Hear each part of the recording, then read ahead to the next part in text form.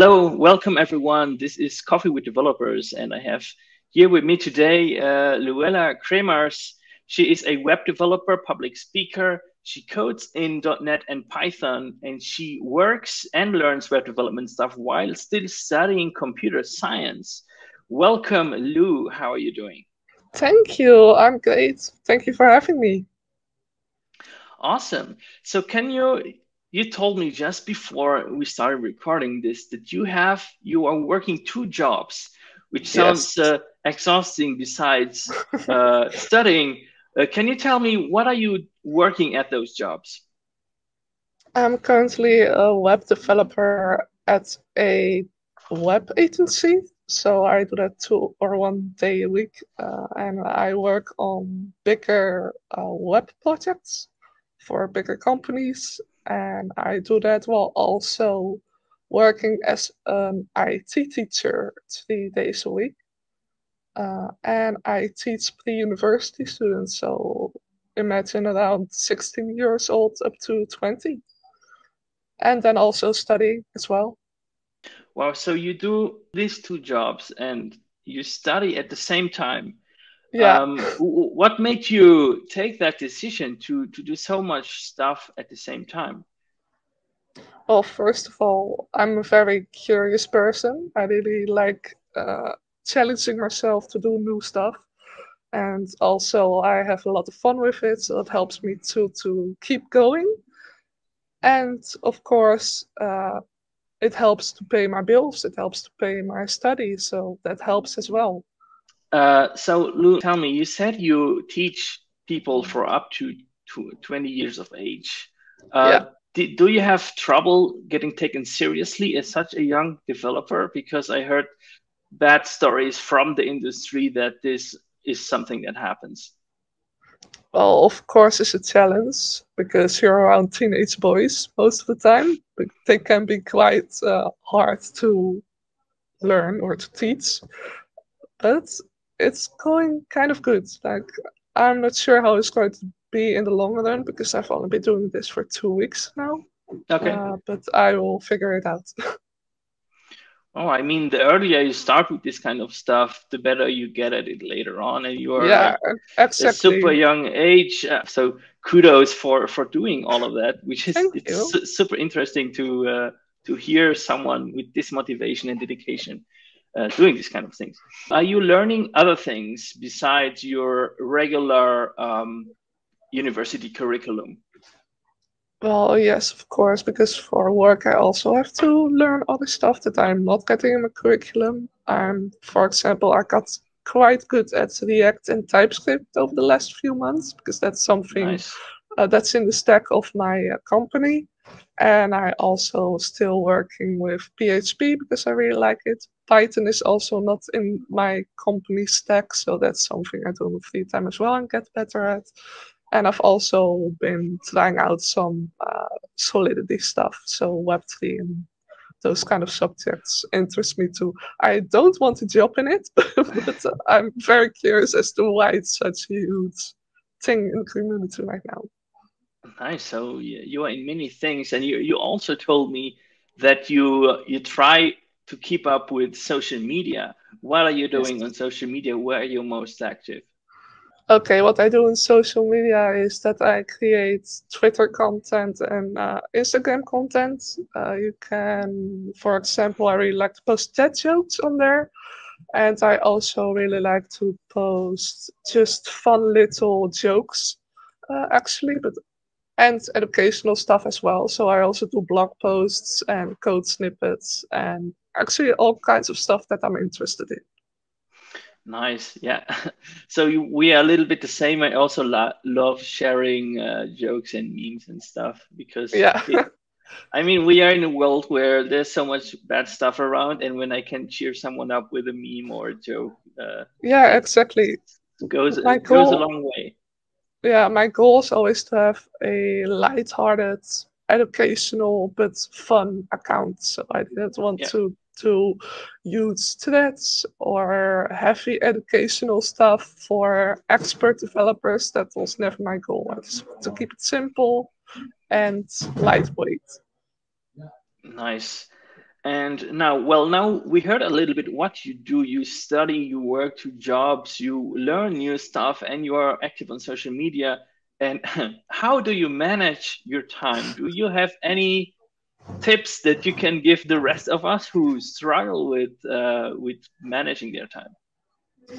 Uh, the thing that I like to do is to make quite simple uh, to-do list at the beginning of the week and make uh, yeah kind of like a MoSCoW analysis like must do could do won't do and then I try to at least get everything that's in the must done and I would also prefer to do the could done but uh, that's uh, about it actually for me it's quite naturally for me. I'm very much uh, disciplined on scheduling stuff.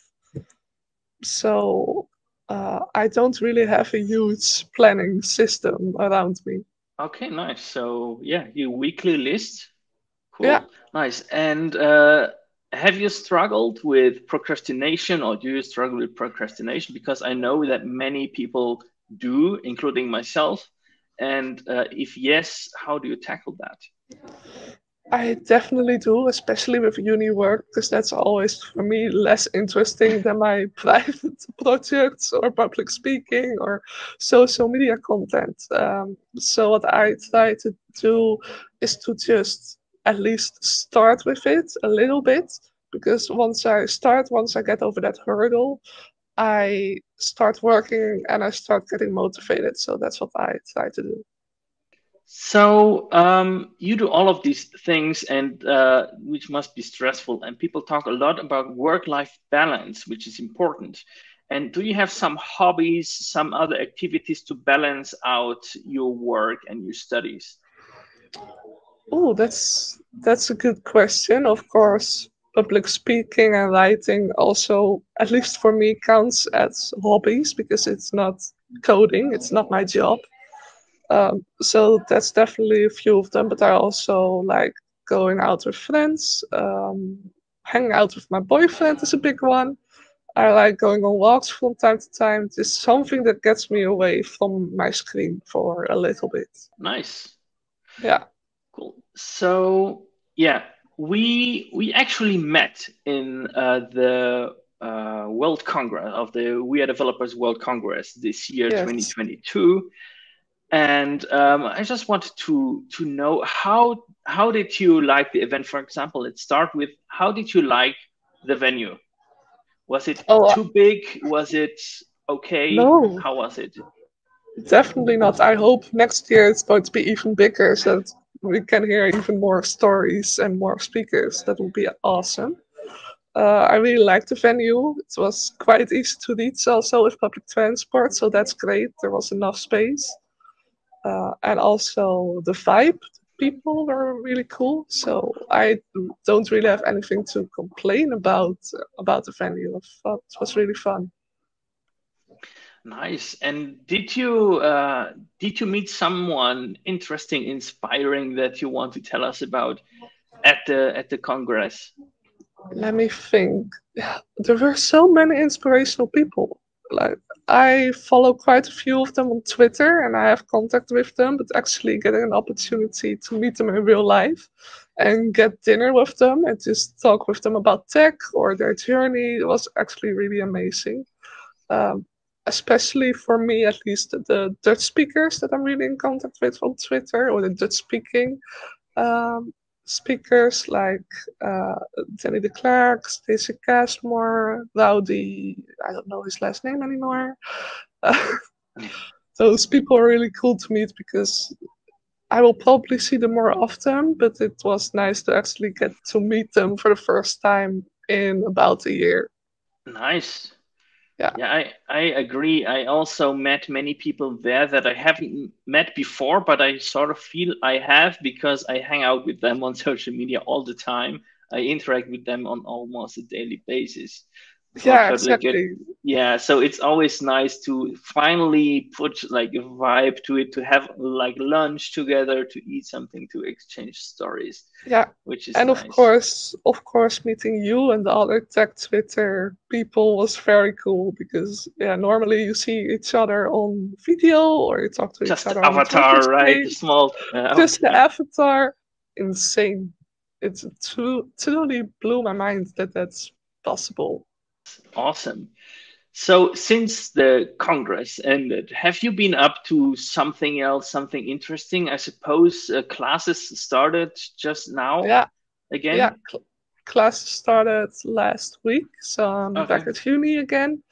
Uh, I started teaching two weeks ago. Like I told you, it's is uh, very cool. I'm still very much experimenting with what I can do, what I cannot do to keep the class motivated. And um, yeah, that's actually it. Like graduation is coming closer and closer and closer, so that's quite uh, cool too. I guess it's stressful as well. Uh, I imagine. Yeah. How much time do you have left in university? Uh, until the end of the school year, so about Ju- June, July, I guess. Okay. Yeah. Nice. So almost done. Cool. Almost done. Yeah, after four years, I'm very happy that it's almost over. Yeah, especially with COVID in between, it was oh, very, yeah. very difficult. Yeah. So you have in-person classes again, right? Yes. Yes. Yes. Okay. Nice. Uh, if you have, if you would give an advice to someone that just starts uh, to learn how to code and getting into all the tech world, is there yeah. one like one advice you can give them? Well, start out with the Code Camp. That's the best course you can actually get out there for free. Uh, try to have fun with it. Experiment. If you're stuck, ask friends or Google because all those developers are actually just professional Googlers.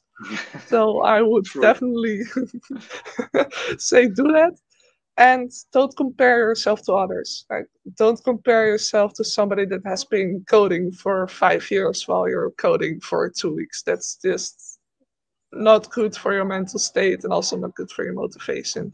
So keep being busy with your own journey and your own experience and give yourself time to actually learn. Yes i can definitely agree with that. Lou um, thanks for taking your time to come on the show and for your awesome answers. And I hope to see you around soon. Yes, definitely. You will see me more often for sure. Awesome. Okay, bye-bye. Bye.